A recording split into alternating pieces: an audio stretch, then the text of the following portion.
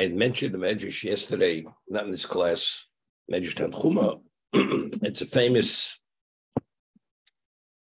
Medrash. It explains what an allegory. We find that the Torah itself, only in two instances does it tell us about the degree of reward for mitzvahs. The mitzvah shiluach hakan, sending away a mother bird before you take the chicks or the eggs. The Torah speaks about arichas yomim, the length of days, and also honoring honoring one's parent. Kibra ve'im, the Torah speaks about arichas yomim. You merit longevity. Why does the Torah, in regard to these two positive commandments, does the Torah mention reward? To give us an inkling to what degree we don't understand the value of a mitzvah. Sending away the mother bird and taking the chicks and the eggs, the Torah says, Arichas Yomim. There's no cost factor. It's basically effortless. And yet the Torah says you merit Arichas Yomim, you merit longevity. And honoring a parent just, which is one of the most difficult mitzvahs. There's cost, there's putting yourself out, a tremendous amount of imposition. Torah says, Arichas Yomim. So here you have a mitzvah which is not costly, almost effortless. Torah says, Arichas Yomim. And the other mitzvah, which is difficult and costly, Torah says they use the same words. So evidently, it's clear we we don't have the ability to make a, an accurate evaluation of the innate value of a mitzvah. That's the midrash. But then the midrash goes on to say, why didn't Hashem reveal to us the value of mitzvahs? So it explains with an allegory that there was a king. He wanted an orchard to be planted on his behalf, and he wanted a garden to be planted that the orchard should contain every type of fruit tree. The garden should have every type of vegetable and herb. And the garden should have also flowers, all types of shrubs and bushes. And he announces to the various horticulturists or orchard keepers, whatever may be, that he wants an orchard planted. And he gives a list of the different species of fruit trees and the garden in terms of herbs and vegetables and flowers. But he doesn't tell them what he's going to pay him per species. And they go to work immediately, and each one based on what he thinks would satisfy the king. He plants his kind of tree. At the end of the day, every tree that the king wanted in his orchard, every species and every flower and every herb was in the garden. But if the king would have revealed in advance the value of the service, the fee each one would re- receive, whatever would be the greatest fee, everybody would plant that particular species. And all the other species of the orchard or the garden would not be there. So therefore, he conceals the fee. At the end of the day, he rewards each one appropriately. So the Midrash says, in this world, God does not reward us for mitzvahs. Why? Because a person would do a mitzvah and he'd be rewarded. So everybody would be doing mitzvahs because it's obvious. You do the mitzvah, you get this level of what of reward. So what does Hashem do? He reserves reward for the world to come. Although we speak the certain mitzvahs, we have the use of in this world, but the principle for the mitzvah is not given in this world. What's given in this world, God gives us things to facilitate, to make mitzvahs easier. But it's not the reward for the mitzvah, because it would be for the reward for the mitzvah. What would be the incentive to do the mitzvah? The reward. But Hashem wants to make give make us beneficiaries at the ultimate level, that we should do it based on our trust and faith in Him, that He will give us our due reward whenever it may be, and we do what we're supposed to do because that's his dictate. That's what we do it. That's the midrash. Because if a person would see the value of a mitzvah, because he becomes a beneficiary in the material, in this world, people will do only certain mitzvahs, not other mitzvahs. But God says every mitzvah is a necessity. Every mitzvah has to be done. Therefore, we don't see the response or the ramification, the material in this world. That's the midrash. Now, there's a basic question which is asked. If we say Talmud Torah Keneged Kulam, and the way the Vilna Gaon explains it, that even if you study one word of Torah, it's the equivalent of all the mitzvahs combined, all Yitarig mitzvahs, that's the innate value of Talmud Torah. So if that's the case, a person should study Torah continuously, not put on tefillin, not do any other mitzvah, because every other mitzvah is, is, is considered a fraction or a pittance compared to what Torah is. But yet the halacha is, the law is, regarding Talmud Torah, that if the mitzvah cannot be delegated through a third party, as we have many mitzvahs, you can only fulfill them if you do them yourself. It's called mitzvah shebegufo. Tefillin, you can't delegate. Matzah, you can't delegate. Kriya Shema, you can't delegate. You can't do it through an agent. You have to do it yourself. So any mitzvah you can't delegate, you must do yourself. That is a basis to interrupt the Torah study. But if Talmud Torah can them that the ultimate spiritual value is the study of Torah, it seems to be contradictory to the, to the concept of the value of to advance our spirituality. So how do we understand it? Now, we had said that in the name of Chaim Vital in the past, which Chaim cites many times, that as we have Ramach mitzvahs I say, we have 248 positive commandments. We have Ramach, 248 parts to the body. Identically, the 248 components to a Jew's neshama. Each positive commandment corresponds to one component of the neshama. And when you do that mitzvah, that mitzvah generates an energy which infuses that component, which allows it to advance and to develop. So it's true. Talmud the heart, the brain uh, is, is the most important part of a person's physicality. But yet there are other organs. They're the lungs. There are other parts to the body, which are essential to the total function of everything. And everything complements everything else. So the, as a result of that, every mitzvah is a necessity because when it plays into the totality, although it's not the equivalent of Talmud Torah, but nevertheless, you can't live with, with two organs, with three organs. As a result of that, everything has to be addressed in its proper time. Was that particular part of the shaman needs that infusion in terms of to be advanced and developed in, in the totality of the neshama. That's the reason why, regardless of the innate value of a mitzvah, the times that you have to do the mitzvah and you can't forego it for something of greater value because of the necessity of the totality of the neshama for that reason. It's like the orchard. You can't have an orchard just with, with, with, with grapes because you have to have every representation of the fruit to, to have a complete orchard. The neshama only functions if you have every type of mitzvah which addresses that part of the what of the of the neshama to be able to advance it. It needs that level of infusion for that reason.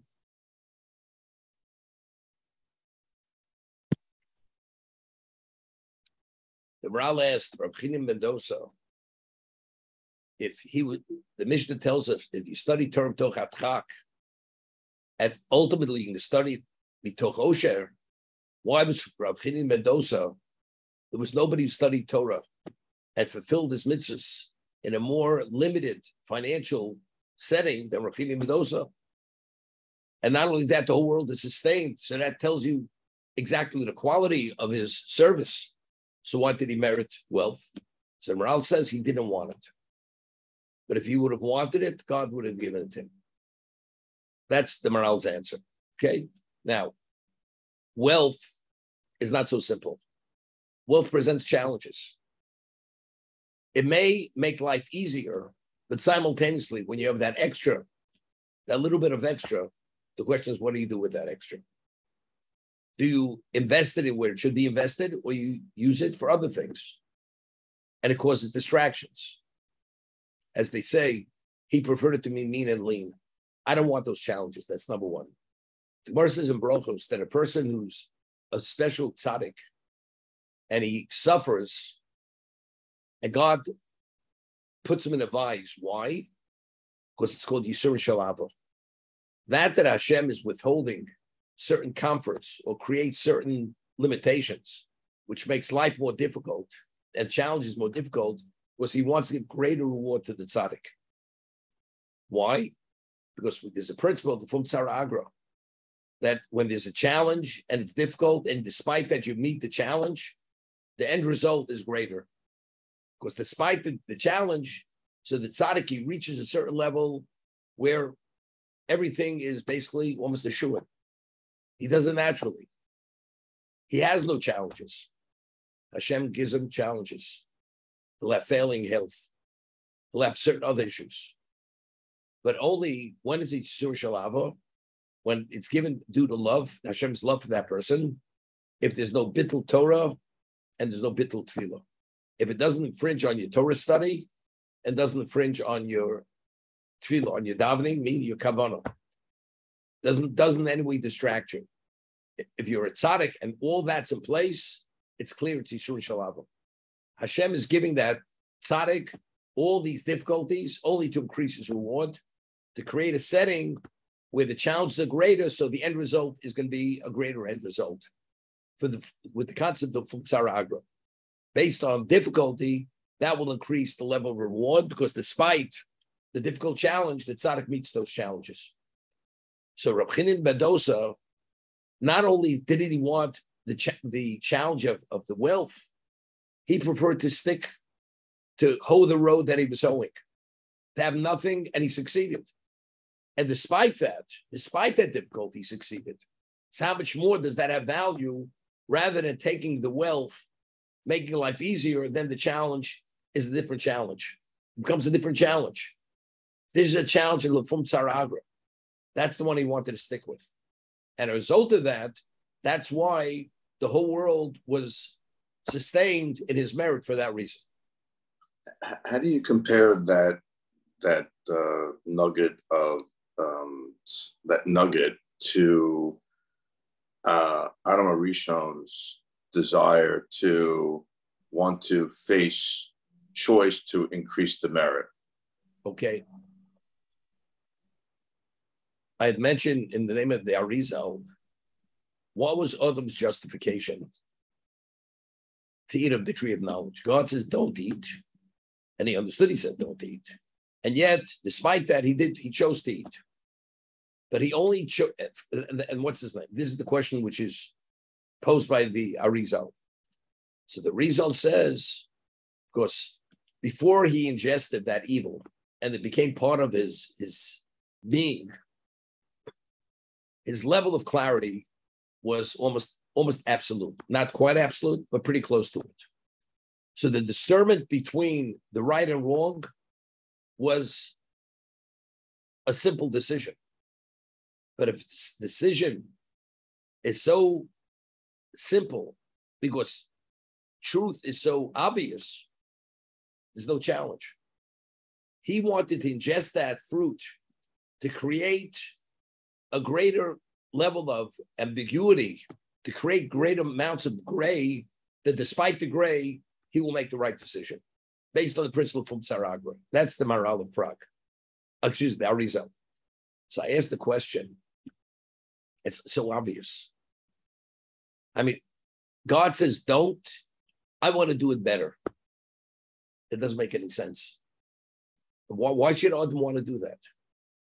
So what I had said was after Chava ate of the tree of the knowledge, why did Chava eat?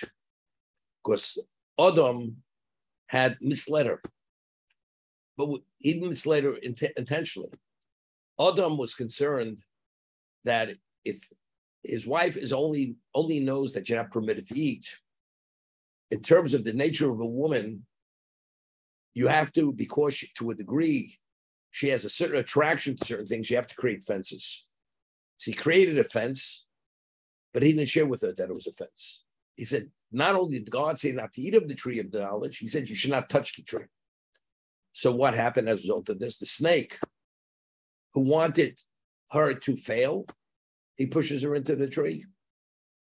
And she believed that God had said, if you touch the tree, you will also die. Not only if you eat the fruit, you're going to die. So the snake says, you see, the whole thing is a bunch of nonsense. Just as you don't die when you touch the tree, you won't die even if you eat the fruit of the tree. But she had, she was misled by Adam by presenting offense as God's word, but it was not. So who was responsible for Chava's death? That she's going to become a limited being. It's Adam. So if you look at Rashi over there, Rashi cites the Chazal. It says Chava had fed the fruit, had offered the fruit to her husband. And she said to Adam, you know something? If I die, you know what's going to happen? God's going to create another wife for you. Do you think I'm going to let that happen? If I'm dying, you're going to die. We're in the same boat. Therefore, I demand you eat of that tree, of that fruit. That's that's the Midrash Rashi cites. Therefore, Chava fed the fruit to Adam for that reason. Because she's not going to tolerate I'm going to check out, and God is going to provide another wife. And Adam agreed to eat. So the question I asked was, you make a mistake. And the mistake is the cause of the person's spouse's death. It's a mistake. And originally the intention was a good intention. Now your spouse says, Well, you know, now, now that I'm dying, I want you to die. Doesn't make any sense. I made a mistake, so therefore what? I, sh- I should forfeit my life and go against the word of God. The answer is Adam had a very serious conflict here. He had a guilt conscience over here. So how do you take this wrong and turn it into a right? That he should be able to ingest that fruit and to meet her demand. You know, something, there's a concept from Saragra. It's true God says not to, but if I eat it now, there's a certain positive result. Because despite the gray which is going to be created due to this, I will still make the right decision. But if Adam, if this whole scenario would have never happened, there would have never been a, a conflict of interest. Why you should even look for this rationale to justify doing the wrong thing? That's how he explained it. The way I explained it, I understood it. So again, we don't do anything. A Jew is not. We just you're not permitted to put yourself in a position where you're testing yourself. I always say, a test which God presents is, is only a test if you're able to withstand that test. Otherwise, it's not a test. But What about if you go and put yourself out on a limb and you create that level of temptation? God didn't push you there. You put yourself there. It's not so simple. You could you could inch yourself back, back to the location of to be secure. You may fall off that limb. A test is a test when God presents the test. If you a self-induced test by creating a setting where to test yourself, you may not be able to succeed. And that's why you're not permitted to put yourself in a position to be tested for that reason. Adam created something he wasn't permitted to create. I will create a test, and despite that, I'll meet that challenge. All humanity till today has suffered because of that decision. Now he took down himself and he took down all humanity the world would have reached a level of perfection if Adam wouldn't have rash, rationalized and justified the decision to eat of that tree of knowledge. But because of that rationale, he did, we're still contending with the evil of that fruit and still dealing with the Yetzer Hara, with the evil inclination for that reason.